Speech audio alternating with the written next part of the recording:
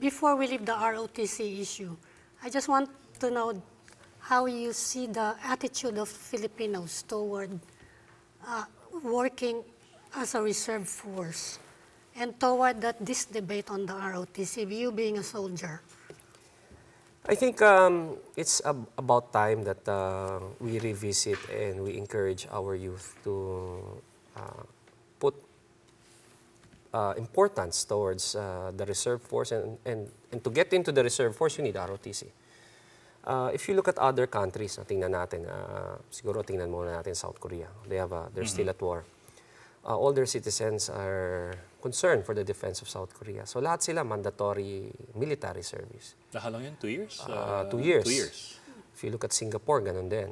Because uh, Singapore kasi feels that uh, they're a small country, they need to be strong or to project to be strong.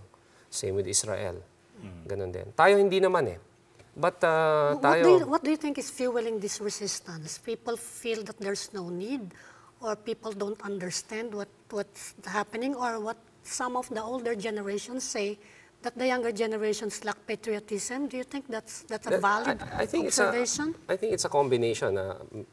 that's why um, maybe because nawala yung ROTC, uh, there was some flaws back then. So ngayon, ayusin natin para mabalik natin yung sense of patriotism ng kabataan natin. Um, it could be a combination of all the things you said, no?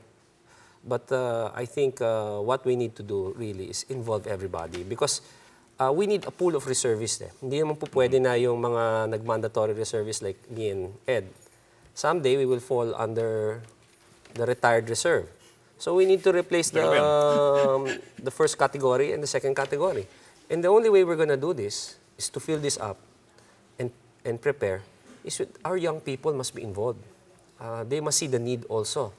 Uh, I think uh, there's already an ongoing debate na because of supposed threat uh, by other countries sa atin. Alam naman natin, nararamdaman na rin natin na it's high time na kailangan na natin to.